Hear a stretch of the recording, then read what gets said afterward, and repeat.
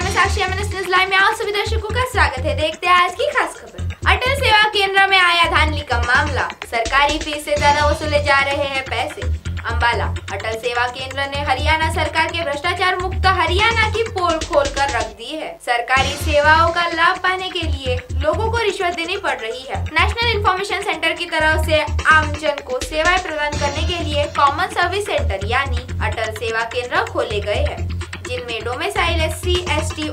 public welfare scheme Aadhaar card और PAN card आदि बनने की सुविधाएँ बीस रूपए ऐसी लेकर पचास रूपए तक उपलब्ध करवाना होता है।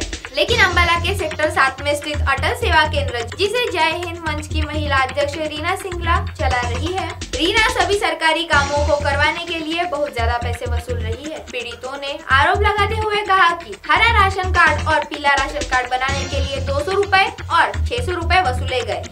महिला का कहना है कि अपने पिताजी की बुढ़ापा पेंशन लगवाने के लिए आई, लेकिन उन्होंने डोमिसाइल बनवाने के लिए 1600 और पैन कार्ड बनाने के लिए 300 वसूले हैं।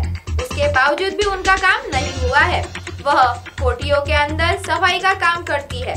उनसे पीला राशन कार्ड बनवाने के तीन बार पैसे वसूले गए हैं। वही जब इस मामले में अटल सेवा केंद्र चलाने वाली रीना सिंगला से बात करी गई तो उन्होंने इन खंडन किया।